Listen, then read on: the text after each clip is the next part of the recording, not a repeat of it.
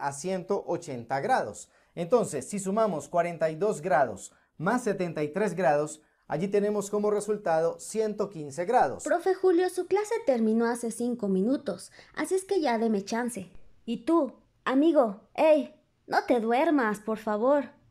Ok, ok, si te vas a dormir en mi clase, es mejor que sueñes con esta increíble historia.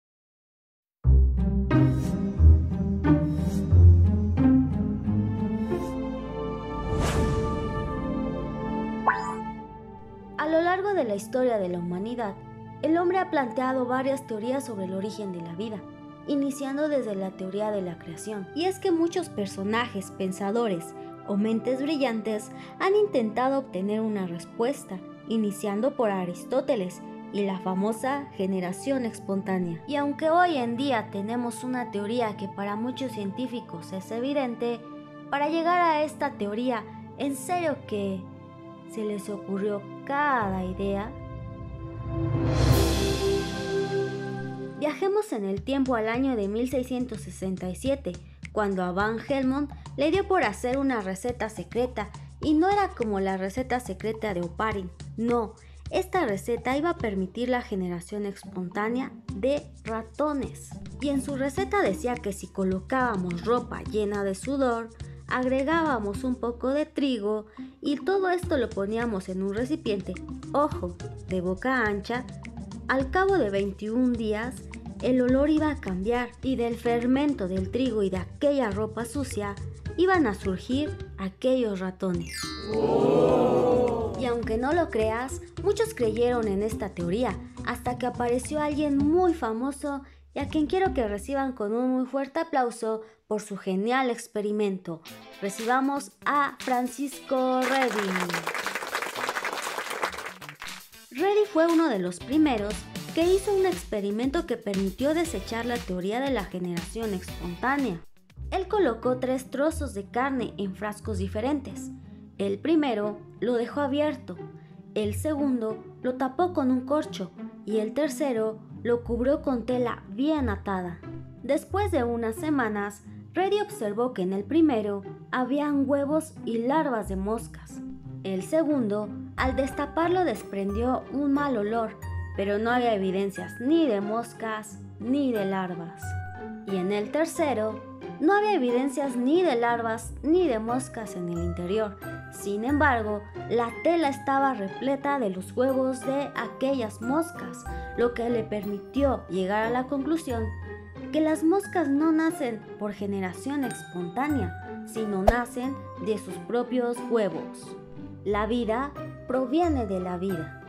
Ahora les presento a Nedham, a quien no sé si merezca un aplauso, ya que él defendía la teoría de la generación espontánea. Y es que él tenía su propio experimento. Él puso a hervir caldo de carne para destruir todos los organismos preexistentes y lo colocó en un recipiente que no se encontraba cerrado perfectamente, ya que según su teoría requería un poco de aire. A los días siguientes se dio cuenta que se habían formado colonias de microorganismos, llegando a la conclusión que se habían generado espontáneamente. Y claro, no dejó de argumentar que el aire era esencial para la vida, a lo que Lázaro Spallanzani nunca estuvo de acuerdo, ya que él realizó el mismo experimento, pero tapando muy bien los recipientes. También incrementó el tiempo de calentamiento y días después no encontró ningún microorganismo, contradiciendo así la teoría de Nedham. Y es que a finales del siglo XIX el debate del origen de la vida estaba en un punto con matices bélicos. La guerra ideológica entre los que creían en la generación espontánea o abiogénesis y los que creían en la biogénesis, que clamaban que los seres vivos surgían exclusivamente de otros seres vivos.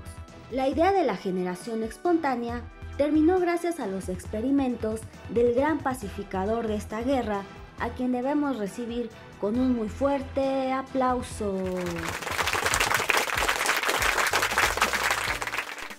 Así es, él es Luis Pasteur, conocido como el padre de la microbiología y para mí el padre de la pasteurización. Él tenía su propio experimento. Pasteur calentó una infusión hasta el punto de ebullición dentro de matraces de cuello de cisne que por cierto él mismo elaboró, y tras el enfriamiento, comprobó que el líquido permanecía inalterado y sin rastros de descomposición, a pesar de que el aire llegaba a su interior. Y es que esto se debía a que el cuello hacía un tipo de filtro para todos esos gérmenes que se encontraban en el aire, refutando así en todos los sentidos y en todos los aspectos a la generación espontánea. Aunque ya había quedado claro que la generación espontánea era falsa, seguía en duda el origen de la vida, hasta que en el año de 1923 aparece la hipótesis química expuesta por Oparin y su receta secreta, y si no has visto ese video dale clic en la parte de arriba. Pero fueron los científicos Miller y Urey quienes encontraron la forma de comprobar la teoría de Oparin.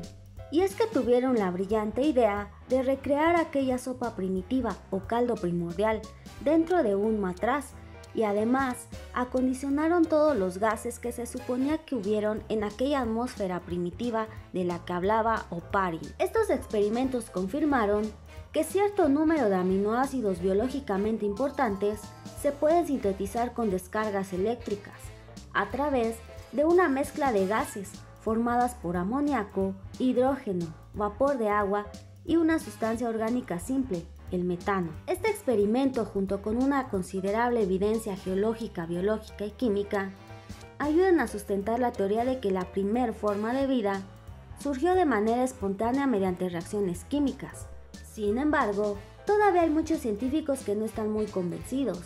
¿Y tú qué opinas? Espero te sea de ayuda este pequeño video.